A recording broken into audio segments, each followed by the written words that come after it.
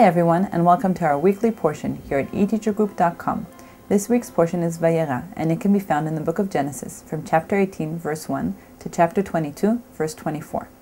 Let's open the Torah scroll and meet our portion. וירא אליו אדוני באלוני ממרא, והוא יושב פתח האוהל כחום היום. The portion is named Vayera, literally, and he appeared, because it begins with God appearing before Abraham, enabling him to see three angels who came to bring him God's word. Let us understand the first verse together. Vayera, and appeared. Elav, before him. Adonai, the Lord.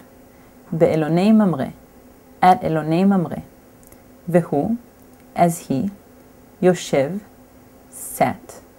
Petach, in the door. Ha'ohel, tent. Kechom, in the heat. Hayom, of the day. This week's portion begins with three men, angels, who bring God's word to Abraham. Abraham greets them and goes to much trouble in order to please the welcome guests. The three bear an important message. Abraham and Sarah will have a son, despite their old age, a year from the time of the visit.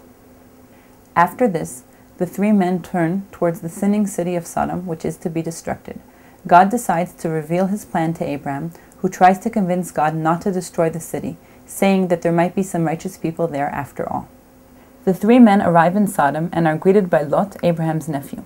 He is apparently the only righteous man in Sodom.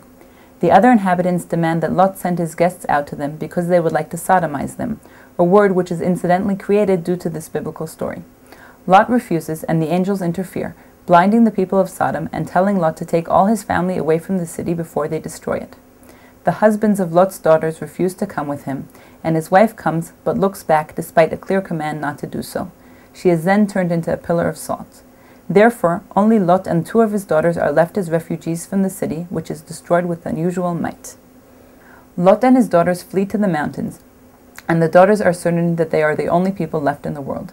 They therefore give their father wine in order to make him drunk, and are impregnated by him. The Ammonites and the Moabites are the two peoples who are born as a result of these relations. The city of Sodom and the entire area surrounding it are destroyed and turned into the desolate Dead Sea area.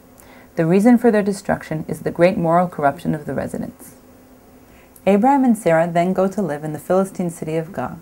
Abraham again asks Sarah to tell the foreign king Avimelech that she is his sister so that he will not be harmed. Avimelech discovers the truth in his dream after not having touched Sarah at all. He is very angry at Abraham, saying that his conduct was inappropriate and could have caused him great sin. Avimelech invites Abraham to live in his city, and Abraham prays for Avimelech, and the punishment for having taken Sarah is cancelled.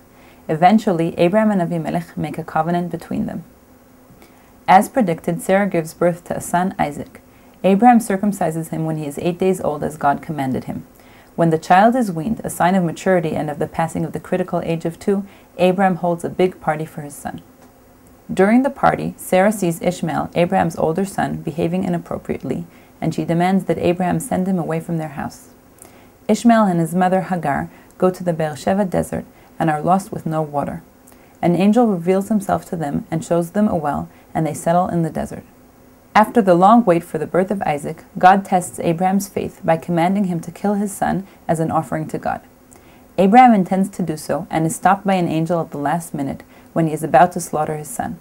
He finds a ram stuck in the bushes and he sacrifices him instead of Isaac. The portion ends with an update about Abraham's brother who remained in Mesopotamia and the children born to him. This prepares us for the marriage of Isaac and Rebekah. That's all for this week. We hope to see you again next week. Have a great week.